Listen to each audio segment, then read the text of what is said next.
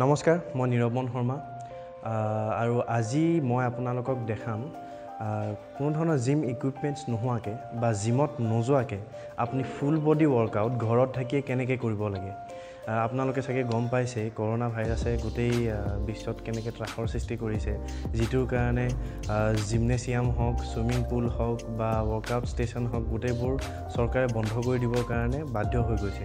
গতিকে আমিতো জিম চৰকাৰৰ আদেশটো মানি চলিবই লাগিব।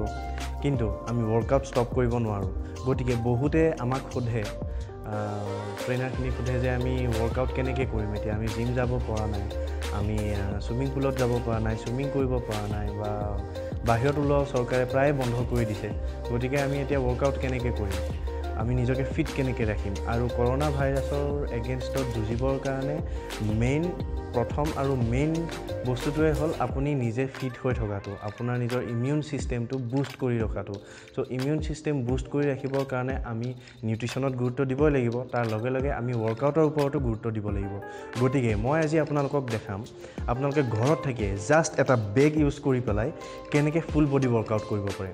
চ' ফাৰ্ষ্ট মই দেখাইছোঁ আপুনি কৰিব লাগিব free squat show' free squat যদি আপুনি বিগিনাৰ্ছ হয় তেনেহ'লে প্ৰথমতে উইদাউট বেগ লৈ পেলাই আপুনি ফ্ৰী স্কোৱাট কৰক।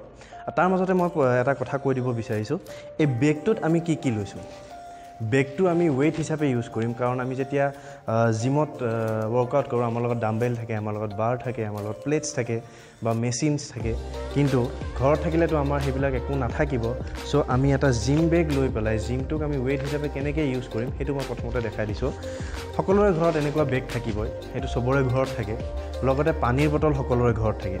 চ' প্ৰথমতে আপোনালোকে কৰিব কি পাঁচ ছটামান এক লিটাৰৰ পানীৰ বটল পানীৰে ফুল কৰি ল'ব। লৈ পেলাই বেগটোৰ ভিতৰত এনেকৈ পানী বটল ভৰাই ল'ব যেনেকৈ মই ভৰাই লৈছোঁ। চ' এইটো হৈ গ'ল আমাৰ ৱেইট চ' এইটো ৱেইট ইউজ কৰি পেলাই এতিয়া আমি ফুল বডি ৱৰ্কআউট কৰিম। চ' ফাৰ্ষ্ট কৰিম আমি ফ্ৰী স্কোৱাট মানে লেগছৰ এক্সাৰচাইজ আপোনালোকে যেতিয়া ৱৰ্কআউট ষ্টাৰ্ট কৰিব ফুল বডি ৱৰ্কআউট ষ্টাৰ্ট কৰিব সদায় বিগ মাচল মানে ডাঙৰ মাচলৰ পৰা ৱৰ্কআউট ষ্টাৰ্ট কৰিব লাগে। চ' আমাৰ বডিৰ চবতকৈ ডাঙৰ মাচল হ'ল লেগছ চ' আমি লেগছৰ পৰা ষ্টাৰ্ট কৰিম। প্ৰথমতে যদি আপোনালোক বিগিনাৰ্ছ হয় চ' ফ্ৰী স্কোৱাট কৰিব। চ' মই আপোনালোকক দেখাই দিছোঁ। One two three four five এতিয়া মই ছাইডৰ পৰা দেখাই দিছোঁ।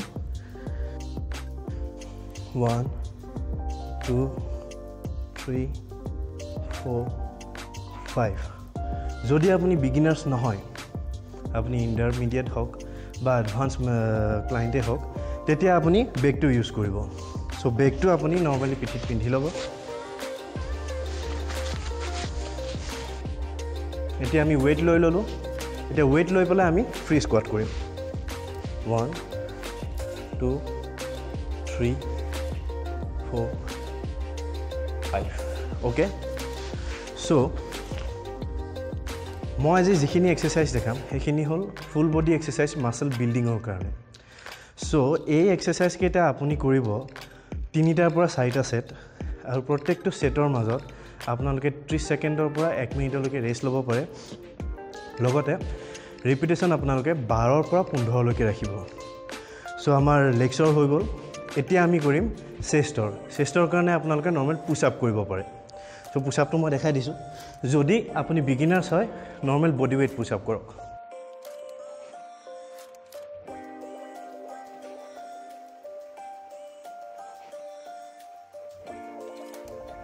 চ' এনেকৈ পুছ আপ কৰিব পাৰে তিনিটাৰ পৰা চাৰিটা ছেট ৰেপিটেশ্যন ৰাখিব টুৱেল্ভ টু ফিফটিন আৰু প্ৰত্যেকটো ছেটৰ মাজত আপুনি থাৰ্টি ছেকেণ্ডৰ পৰা ওৱান মিনিটলৈকে ৰেষ্ট ল'ব পাৰে। আৰু এতিয়া যদি বিগিনাৰ্ছ নহয় তেনেহ'লে আপুনি বেগটো পিন্ধি ল'ব। পিন্ধি লৈ পেলাই পুছ আপ কৰক।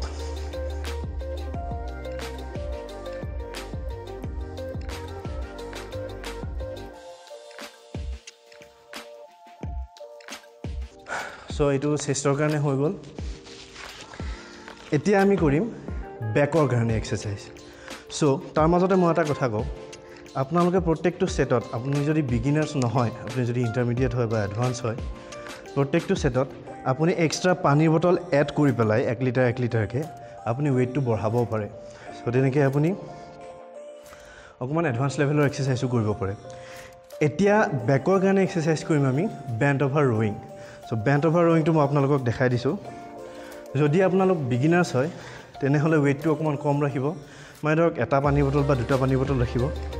যদি বিগিনাৰ্ছ নহয় এডভান্স হয় বা ইণ্টাৰমিডিয়েট হয় তেতিয়া আপুনি আপোনালোকৰ হিচাপত ৱেইটটো ইয়াতে এড কৰিব পাৰে। চ' বেণ্ড অভাৰ ৰয়িঙৰ কাৰণে আমি কৰিম। বেগটো এনেকৈ লৈ ল'ব। এইটো আমাৰ বেণ্ড অভাৰ ৰয়িঙৰ পজিশ্যন চ' এইটো লৈ পেলাই আমি এইটো কৰিম।